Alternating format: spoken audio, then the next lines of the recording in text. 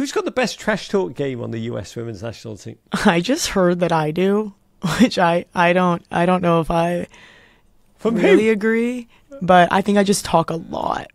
Good evening, good morning. A big you bright to all of you who've got a sudden nasty case of World Cup fever. We blessed masses who sleep all day, watch football all night, glued to this historic tournament, unfurling its narrative across the globe as the US women's national team, the most decorated side in the game, has begun its fight for an unprecedented, frankly quite bonkers, three-peat glory. And I'm genuinely thrilled to welcome back for a deep dive into what Trinity Rodman has told us is the greatest coffee-propelled team in world football.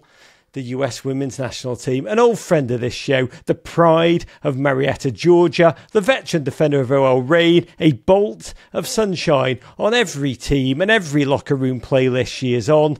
Welcome to Direct from Down Under, presented by Bud Light. Easy to drink, easy to enjoy. It's Emily Sonnett. Raj, what's going on?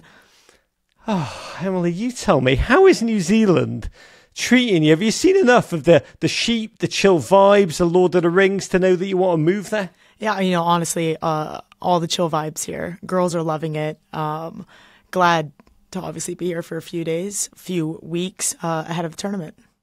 What is the weirdest or most curious or just most entertaining thing you've encountered there? The kiwis, the hobbits, the crispy cookies? Uh, honestly, probably just the bus rides. On. Uh, we're, go- we're going o- we're going over bridges. We're seeing water everywhere. Um, then we're going there back to the hotel, do our recovery. All business here, really. This is it. AB, all business. That's what we think of when we think of Emily Sonnett. I do believe, by the way, there was a video of some rugby being played. Sophia Smith contemplating a transition to New Zealand's most beloved game. Yeah, I saw a little bit of that. Not sure um, if she has the skill for it, but if she puts her mind to it, I think she can. She can have that switch if she wants it. I want to talk to you about this all business World Cup because this is a serious question. How do you sleep at a World Cup in camp? Is it is it normal or is it such a high stress environment that you're constantly dreaming football dreams? constantly, constantly having these football dreams. But what's incredible is that we all have our nightly routines, maybe our own pillows that we brought from home. So we feel, we feel, we feel like we're comfortable here.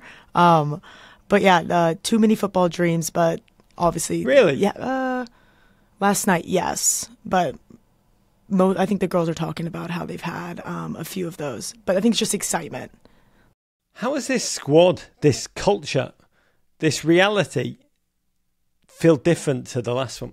it's you know it's a different group different journey. What i love we have so many personalities uh, off field so having this having this connection um, with the young younger players with now i guess people keep saying veteran player to me but older players it doesn't really feel like there's a much disconnect. Um, but i think that's what's helping um, having those connections to to the on field What was your biggest learning from 2019 about what it takes to thrive and survive during that month long journey, please God, that is a World Cup, a journey that's filled with these crazy spikes of adrenaline and hype around the games, and then a ton of boredom in between often? Right. Um, I think I learned that it does take everyone as a tournament so long. Um, so it's people playing later in the tournament who's starting the tournament, right?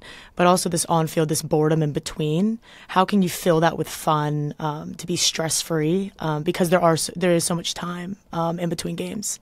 You 40 new players in the squad. Lindsey Horan did an interview yesterday where she called them 40 new World Cuppies, which I love. They're little chickies. Um, who of the new mob is the funniest and why? When I answer this, I, I have a high standard, very high standard. Given. So I, I'm, I'm usually going for the one-liners. Okay, so people who can get their little bit edge, their little edge in. You, you don't know they're listening. My final answer with this is Ashley Sanchez. You you don't know she's listening, but then she fits in a one-liner, and you're like, it's pretty funny. like, wait, where did you come from? Is she like, is she future Lavelle standard? Mm, on her on her way on her way because she has a goofy side as well but the one liners is what's going to bring her and edge her edge her up edge her up There is a talent soaked backline um, in that squad, but with Becky Sauerbrunn, a devastating injury, it's also a relatively inexperienced one. How has that changed the way that you see your role? You know, is there a leadership role that you've assumed? Uh, yeah, I think a little bit. Uh, obviously, huge, huge shoes to fill with Becky. Um, so, kind of leading by example. Um, I think is the biggest one for me. Can I get all the principles right? Can I can I do this? Can I do that? Can other people see me doing the right things? Um, and if they are wanting to ask questions, obviously there. There's an excellent article by Miriam Fader. She wrote um, about you, something you did in training, and Trinity Rodman talked about it last night um, you kept shutting Trinity down. Um, and then she asked you, you know, after getting frustrated, how can she beat you? And you took time to explain to her. Do you remember this? You told her exactly how to beat you. And I thought about that, Emily Sonnett, and I was just blown away by your commitment to the greater good. You, you, you are playing for on field time. You are trying to impress Vlatko too. And then suddenly you're handling Trinity the keys to shake you loose for the good for the good of the greater. Can you talk about that mindset? Because it comes across as so bloody selfless. Yeah, I think I've played against a lot of the greats. You know, just looking at NWSL play. Um, I always say training with the women's national team. It's an honor because I'm playing against. I'm de- having to defend against the best players in the world. So understanding how they beat me or what they're thinking. Um, from a defender's perspective, I think that's something that's very useful that you can tell another forward who's going to be now playing against other countries and not just me. Like when I'm positioned a certain way, this is how I think, or start thinking about this as a way that you can maybe beat another opponent that's really effective. But yeah, I don't know. I think I really want everyone to be successful. I think that's what really comes down to. And I want to see success with everyone on this team. How do you see your role on this squad, Sonic? Because you are you are a self-styled bolt of joy. You know, uh, when I, I, interview NHL players, they talk a lot always. They love to talk about the importance of being a glue guy on a squad. You know, the one who brings the team together consciously and unconsciously. Do you relate to that? And if so, you know, how? I think I do relate to that a little bit. Um, I, I call it the this corner. So it's like number 14, 15, 16. So that's me, Megan Rapinoe, and then Rose, right? So I want to I want to say we're the glue, but I think our humor. So I'll be put myself in that. I think our humor really helps de-stress and kind of have this like, hey everyone, like we're going to come and still stay together, even though it's a high stress situation. And that's one thing I think I've learned a lot from Pinoe. um, and that Rose and I can kind of like hold on to um, to help the group. How would you describe that humor in your own words? Magical. I mean, they really don't. They really they, they won't know how good they've had it until we're all gone. They won't. Oh. God. I'm trying. I'm trying, Raj. I'm trying to tell him. I mean, this is some good stuff. this is some really good stuff. You didn't even have to pause. Just like you were just like, how do you describe my humor? It's gold. I don't miss here in the vibes corner. And if I do, out. but if I do, if I do miss, you know, Rose Lavelle is right there. Megan Rapinoe is right there, and some other one-liners like Sanchez. So like, I mean, we could talk about on-field, you know, having each other's back. This, this, the off-field, they, they, people have people have my back. They have these one liners. At Giannamello, what is the weirdest or funniest, but retrospectively most important thing that Becky Sauerbrunn has taught you? I don't know if it's anything that she has said, but the way that she trains as if every training is like a game is something when I understood early being on the national team and you have to train every day like you're preparing for a game. You're being, you're preparing for the biggest match, and you can see that in her preparation beforehand, prehab, how she's taking every rep seriously. Um, so nothing that she said, but obviously like taking those actions and then applying to what I can maybe do. Who on the U.S. women's national team squad would make it furthest in the Hunger Games and why? Kristie Mewis. She is.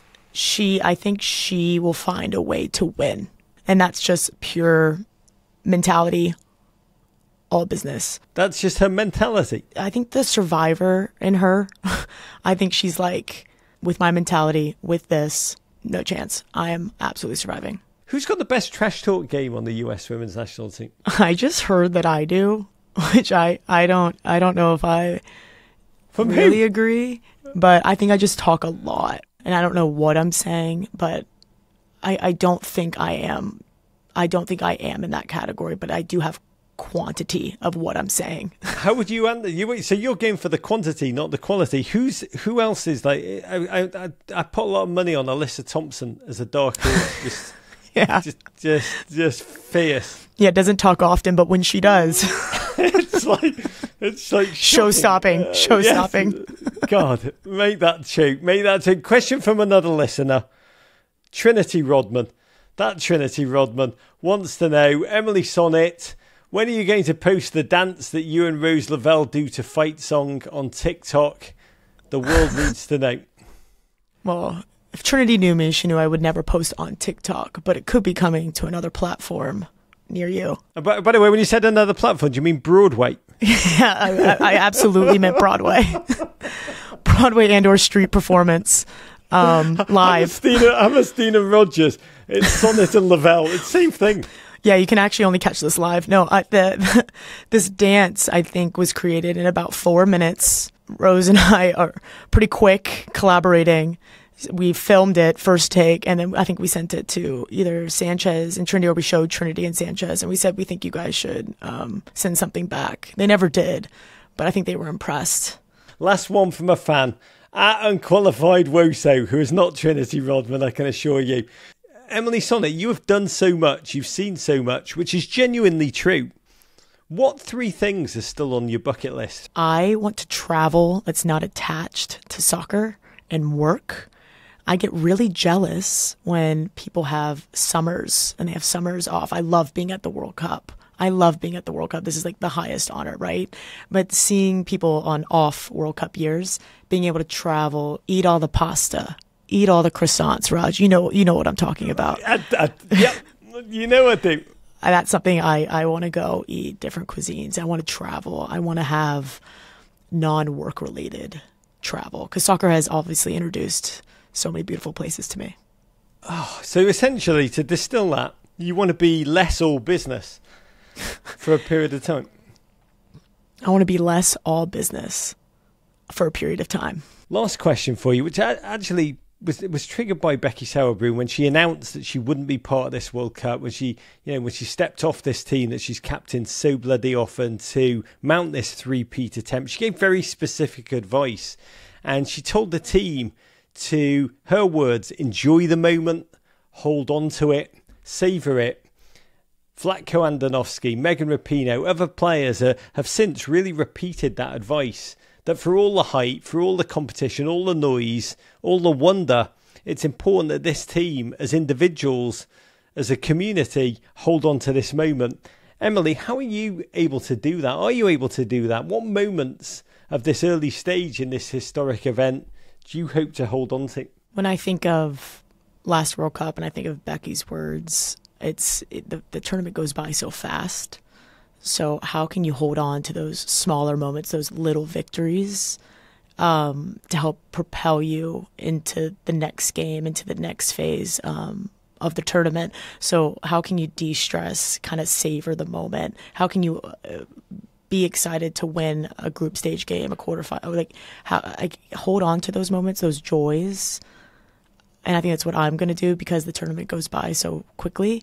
Um, to have the whole full experience of being at the World Cup. God bless. Fight song will never sound the same to me again. I'm taking from this L A B F A P O T, less all business for a period of time. It's a tattoo that I'm going to be getting. The tattoo that we're going to be getting. Yes, if you win the World Yeah. Cup, we're going to be getting that. We're going to get matches. But Emily Sonnett, I do want to raise this Bud Light to you in toast. You honestly are. You are a bolt of joy off on the field. Uh, You're joy, bolt joy off the field. A ruthless competitor on it. Quite potty mouthed by your own admission. And most importantly, you're incredibly selfless. You give it all to this elite mentality. To you, you indomitable spirit. Thank you, Raj. Courage. Listen to the full version of this podcast and all our podcasts wherever you get your pods. But first, subscribe here for more Men in Blazers videos and courage.